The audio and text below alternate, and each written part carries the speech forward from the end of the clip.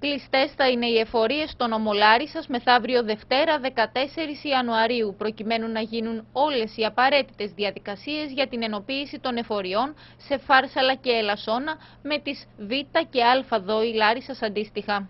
Υπενθυμίζεται ότι παρά την ενοποίηση των εφοριών για κάποιο χρονικό διάστημα θα συνεχιστεί η λειτουργία των ΔΟΗ σε Φάρσαλα και Ελασσόνα. Αυτή είναι η διαδικασία να κλείσουν για να γίνει η συμφώνηση και στα έσοδα και το κλείσιμο. Έτσι, να κλείσει ταμείο η ΔΟΗ Φαρσάλων και η ΔΟΗ Ελασσόνας. Όπως και να κάνουν τις απαραίτητες εργασίες τεχνικοί διαχειριστές.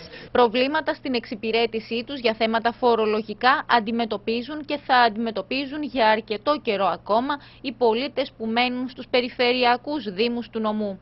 Τα κέντρα εξυπηρέτησης φορολογουμένων δεν έχουν λειτουργήσει ακόμα σε Τύρναβο και Αγιά, ενώ στην Ελασσόνα και στα Φάρσαλα, παρά το γεγονός ότι οι εφορίες θα παραμείνουν για κάποιο διάστημα εκεί, για αρκετές υποθέσεις θα χρειάζεται οι πολίτες να απευθύνονται και στην Α και Β δόη Λάρισας.